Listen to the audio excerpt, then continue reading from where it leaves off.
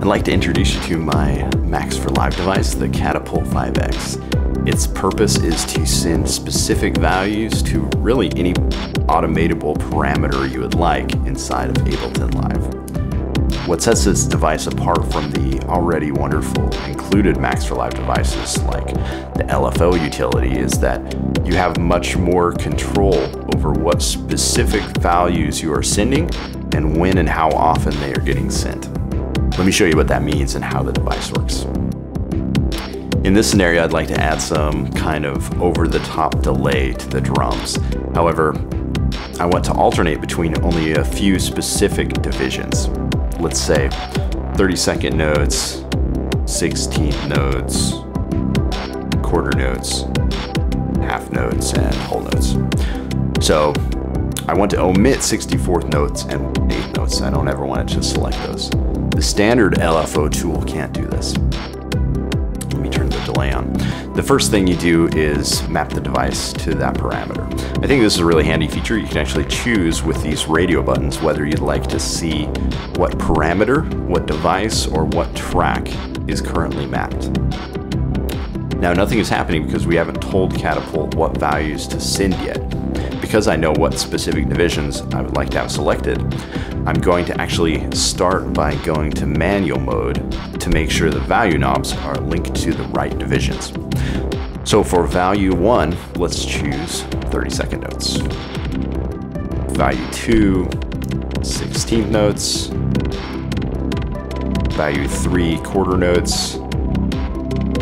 Half notes. And finally whole notes for value 5 manual mode can be really useful because as you can see, I've just created a slider that only selects the values in case the divisions that I want.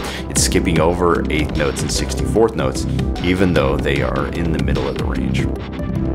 Uh, the slider is MIDI mappable, as are most of Catapult's controls, so it's really powerful uh, for live performance as well glide control works to smooth the transition between uh, value changes, and note that the glide function still works in manual mode.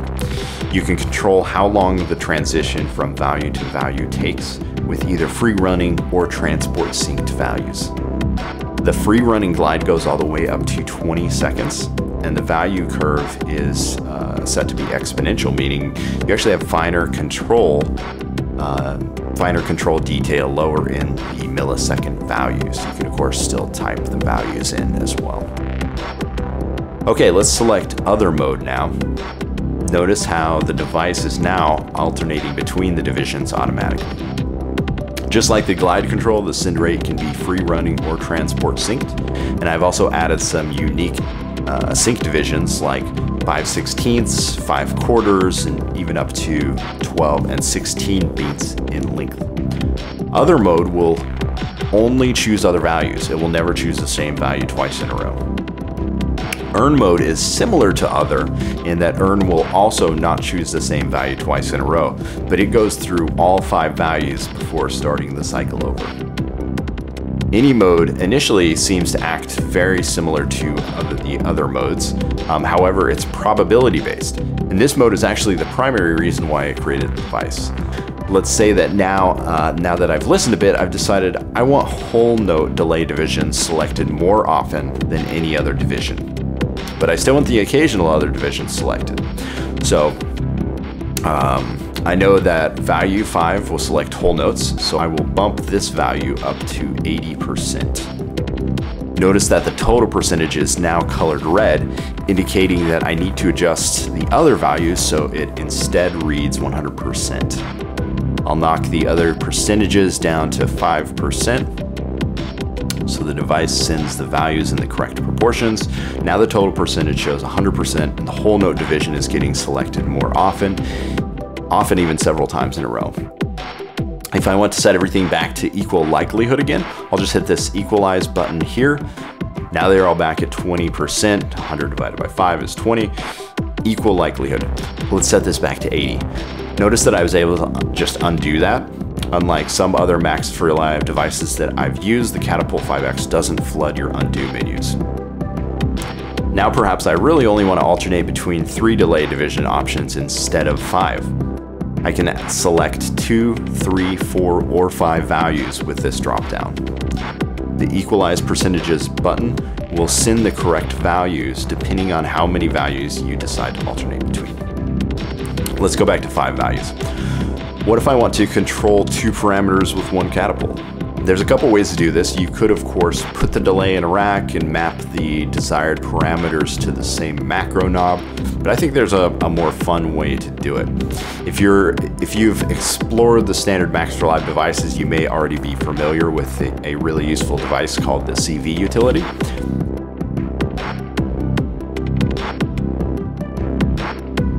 In addition to the already mapped knob, I decide I want more delay feedback on faster delay divisions. So I'll first map the catapult to the CV1 of CV utility, and then map the divisions again here, then the feedback. But since I want more feedback on faster value, to, uh, faster divisions, um, let's reverse this. I'm going to set the maximum, uh, the minimum range to 63 and 0% at the max. Notice the two knobs are changing at the same time, but in different directions now. The CV utility will also uh, give us another way to view the data that the catapult is sending. Let's switch back to other mode. If I add some glide, it smooths the transition between the values. And because we have tempo synced control, we can have a continuously changing LFO with no stopping on any values. If I speed up the rate to 128 notes, you'll see that um, all the values are being sent randomly but with equal likelihood. Now when I go back to any mode, because value 5 is all the way at 80%, there is much more chance of that value being selected and sent. You can also see that uh, if you add some free-running glide and play around with the offset and uh, depth on the CV utility, you can get some really cool complex lines.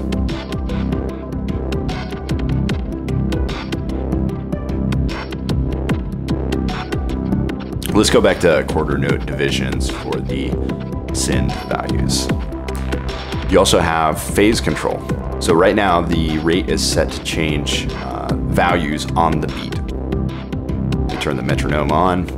If I set this to 50%, you'll see that the new a new value is selected on the off beats instead. I'll turn that back off. You probably noticed that the uh, device very closely matches Ableton's prepackaged themes. It works well with all of them, light and dark.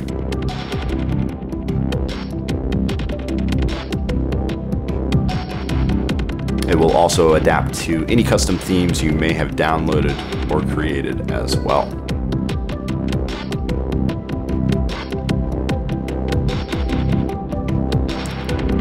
Catapult 5X is collapsible for a smaller visual footprint. Automatable parameters are named, so you can use envelopes and clips or arrangement view to control them as well if that's your thing. There are hints that you can see in Ableton's info view in case you need any reminders of what the functions do. Your settings for this device will be saved along with your live set, so no worries about losing any settings when switching between live sets.